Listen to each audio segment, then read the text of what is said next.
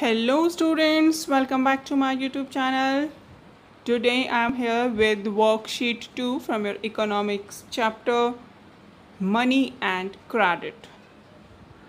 But before starting our today's lecture, students, I want to say you a big, big, big thank you. Actually मैंने जो worksheet one की जो videos डाली थी उसको आपने बहुत ज़्यादा लाइक किया है और बहुत सारे कमेंट आए कि मैंने बहुत ही अच्छी तरह से आपको सारे कॉन्सेप्ट्स क्लियर कराए हैं। सो so, उसके लिए बहुत बहुत थैंक यू एक्चुअली जैसे आप कोई काम करते हैं और उम्मीद करते हैं कि आपको शाबाशी मिले या कोई प्राइज़ मिले तो स्टूडेंट्स आपका प्यार आपकी रिस्पेक्ट टीचर के लिए सबसे बड़ा प्राइज़ होता है और आपकी अप्रिशिएशन ही मेरी मोटिवेशन है। जो स्टूडेंट्स मुझे पर्सनली जानते हैं, जिनको मैं पढ़ा चुकी हूँ, उनसे मुझे बहुत ही प्यार, बहुत रिस्पेक्ट मिली है। लेकिन गाइस जिनसे मैं अभी इस यूट्यूब चैनल के थ्रू कनेक्ट हुई हूँ, उन स्टूडेंट्स से भी मुझे ऐसी अप्रिशिएशन मिली, उसके लिए Thank you very much. So are you ready for worksheet 2? Okay, let's get started. I gave you my heart.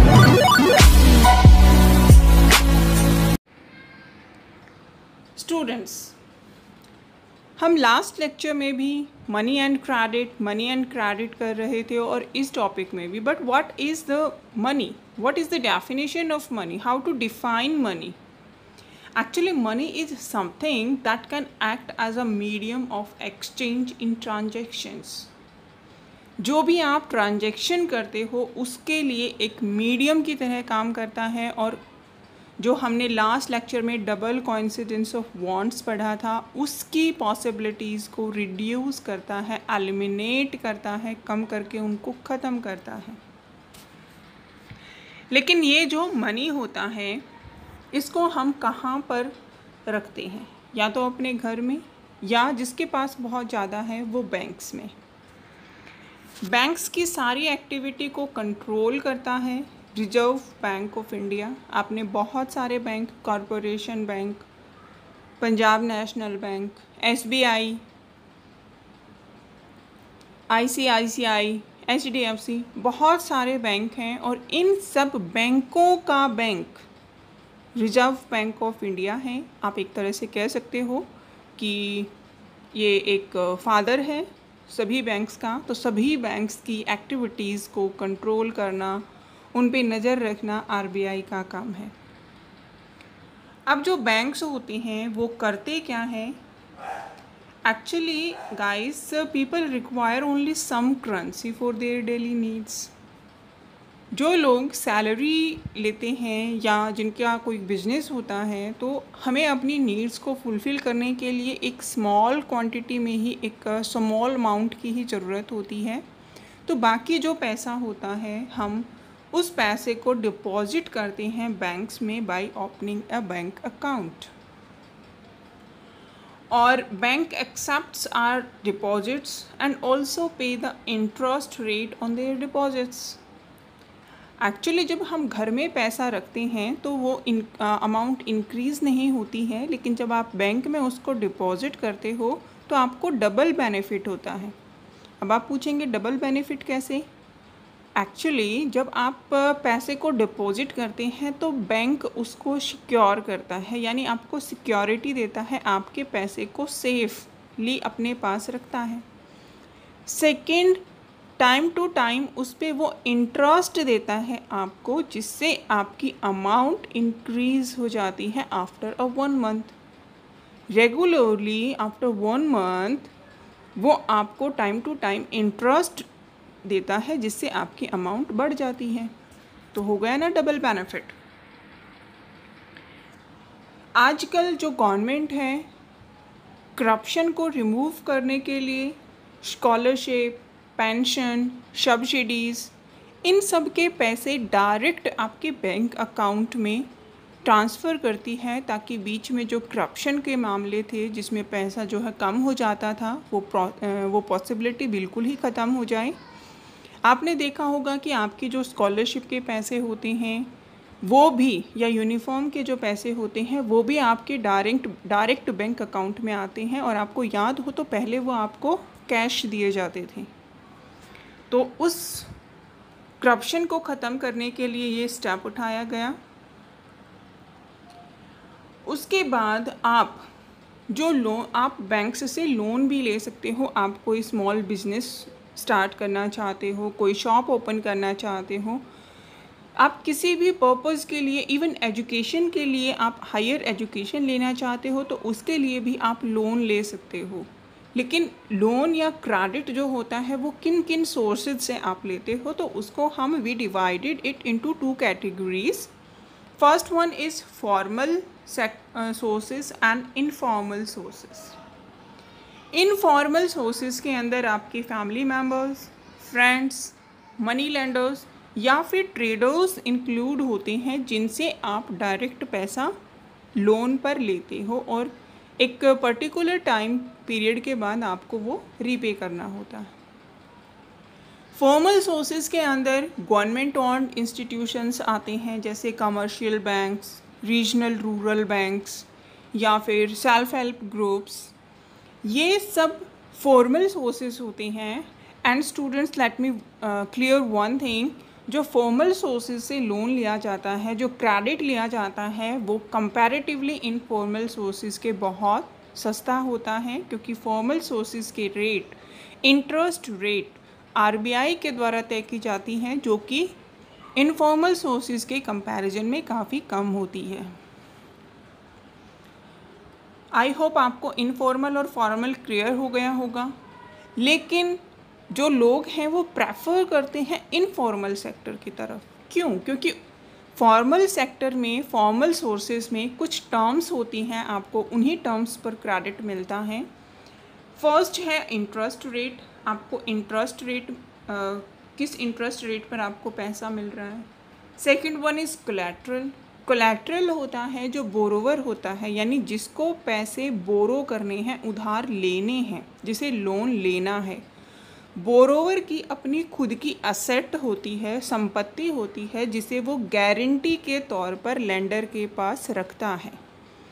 In case यदि बोरोवर लोन को रीपे करने में सक्सेसफुल नहीं होता है फेल हो जाता है तो लैंडर उसकी असेट को बेचकर अपने पैसे, यानी कि अपना जो लोन है वो कंप्लीट कर सके, अपने पैसे पूरे कर सके। तो इसलिए कोलेट्रल ज़रूरी है। थर्ड वहाँ पर बहुत सारे डॉक्यूमेंटेशन की भी ज़रूरत होती है और मोड ऑफ़ री रीपेमेंट यानी आप पैसे कैसे वापस करेंगे लोन को, इस बात की भी श्योरिटी बैंक करता है। तो ये जो होता है सोर्सेज ऑफ़ क्रेडिट जो टर्म्स होते हैं फॉर्मल सेक्टर के, वो काफ़ी लेंदी प्रोसेस होता है। उसमें आपके डॉक्यूमेंट्स भी पूरे होने चाहिए, आपके मोड ऑफ़ रीपेमेंट भी होना चाहिए। तो ये सारे सोर्सेज जब आप कंप्लीट होंगे, तभी आपको लोन मिल सकेगा। जो लेंदी प्रोसेस है तो पीपल इसको अवॉइड करते हैं और इनफॉर्मल सेक्टर से हैवी इंटरेस्ट रेट पे लोन लेते हैं, जिससे आपको वो लोन काफ़ी महँगा पड़ता है। और ये जो एसेट होती है बोरोवर की, वो उसकी लैंड हो सकती है।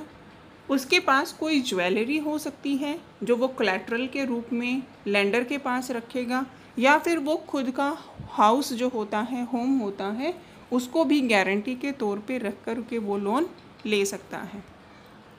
अब हम बात करते हैं रिज़र्व बैंक जो होता है, वो क्या काम करता है। First issue the currency reserve bank currency issue करता है, जो बैंक्स और सेल्फ हेल्प ग्रुप्स हैं, उनकी एक्टिविटी को मॉनिटर करता है कि जो इंटरेस्ट रेट मैंने डिसाइड करी है या जो रिवर्स रेपो रेट मैंने डिसाइड की है, क्या ये उसी इंटरेस्ट रेट पे लोन दे रहे हैं? ये टाइम टू टाइम लोगों को और बैंक्स को टर्म्स एंड इंटरेस्ट के रिगार्डिंग डायरेक्शंस देता है।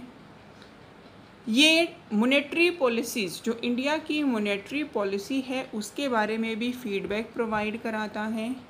और कुछ कैश अपने पास, सभी बैंक्स से कुछ कैश अपने पास रिज़र्व के तौर में रखता है।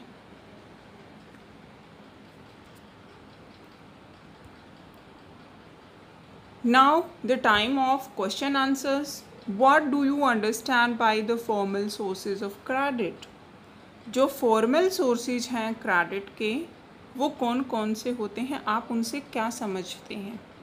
Write down the note on functions of reserve bank of India ये तो मैंने अभी आपको बताया है कि रिज़र्व बैंक ऑफ़ इंडिया के क्या क्या काम हैं। आपको कोलेट्रल का कोई एक एग्ज़ाम्पल देना है? Give any one example of collateral आपको explain the functions of bank आपको बैंक्स के फ़ंक्शंस बताने हैं बैंक जो हैं वो क्या क्या काम करते हैं. एंड लास्ट क्वेश्चन है which source of credit is better and why आपने सोर्सेज ऑफ़ क्रेडिट में फॉर्मल और इनफॉर्मल दो सोर्सेज पढ़े हैं तो उनमें से which one is better and why ये मैंने अभी आपको बताया है। Here is your worksheet which is provided by the Education Department, Delhi government, but it is in Hindi and now I am trying my best to explain the whole worksheet